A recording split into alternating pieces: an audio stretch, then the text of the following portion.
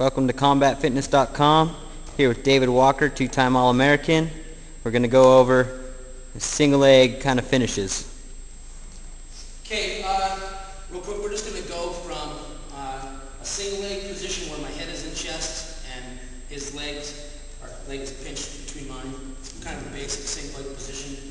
Um, this is Sabagadin Nurmazov. He's a two-time world silver medalist, Asian national champion in 2002. Um, so to start out, we're just going to go ahead and get ourselves into a single leg position. Uh, just quick review, just want to make sure that you guys see that we're in a solid position, that my back is straight, that my level is nice, that my face is in on this single leg, okay? I like to keep my face in because it keeps my man at a distance and keeps him off balance here. Too many times we get head down, our head falls off to the side. Um, we're whizzering.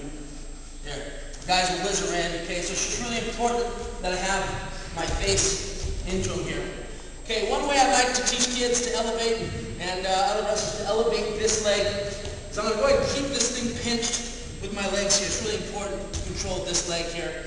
Keeping them at a distance with my face, I'm going to go ahead and I'm going to reach down while the leg is still pinched. Okay, I'm going to reach down. I like to go to the back of the heel. At the same time that I go back to the heel, I'm going to take this leg that I'm pinching with and I'm going to step off here. Pinch, face in, good single leg position here, looking into him, step off, at the same time drop my level down to his heel as I step off. What's important here is I now want to make sure that his leg stays elevated on my body. People call this tabletopping or getting this, this in a position where I can really use no hands to keep this guy's leg pinched in between me, okay? Face in, leg pinched, reaching down, simultaneously going to take my knee, either step off, or I can just kind of let it slide out on its own. From this point, guys, I'm going to come all the way down with both hands to the ankle, to his heel. I don't want to make sure, I want to make sure and close this distance if there's a lot of space guys that got a lot of funk can kick out. I want to come down, and I'm just going to bend down here from when I take the heel out. I'm going to bend down and trap as I'm here. Now I'm going to go ahead and elevate, to go into my trips, my front trips. We can hook. Um, second way that I like to elevate, uh, especially with guys with great balance on one foot. My face again, I'm pinching with my leg. This guy might have a whizzer, it's cool. I'm going to go ahead and drop off here, and I'm going to immediately tabletop it.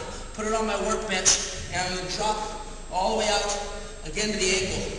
Now some guys can hang out here in this position, and we see guys tripping, and they still might not go over. At this point, I like to go, I take a heavy C motion with my arm, and I'm going to come underneath, and I'm actually going to drop my level. I'm not going to lift his leg, I'm going to drop my level underneath his leg to this point. I like to go my hand to the back of the head. Now notice that his leg didn't really go much higher than where I had it. Take a hard C to control and keep it, keep it, uh, keep it in, you know, grasp pretty tight.